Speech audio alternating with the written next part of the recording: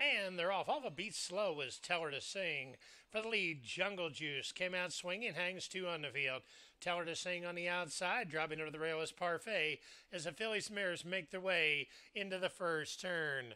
Along the inside, Jungle Juice and the White Cap shattered on the outside by Tell Her to Sing. These two run off by three lengths. Then we come back to Parfait, rounding out the top three as they reach the six furlong point. With the lead is Jungle Juice, now by a half a length, opening quarter 25 and 2. To the outside, Tell Her to Sing, Albin Jimenez, third off a layoff, looking for two in a row. About an eight lengths back, come back to Parfait, rounding out the trio as they run down the back stretch.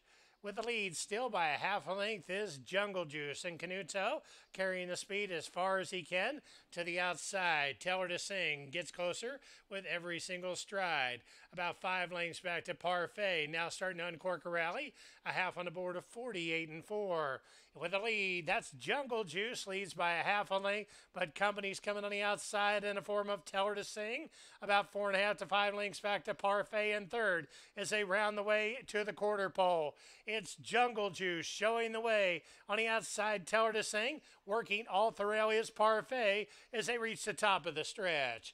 And Jungle Juice drops right over the rail, running in second. Tell her to sing, Jungle Juice. It's her race to lose. On top by a length and a half, make it two. Outside, tell her to sing. One final try, but Jungle Juice and Tiago Canuto has plenty in the tank. It's Jungle Juice at two to five. Running second, tell her to sing.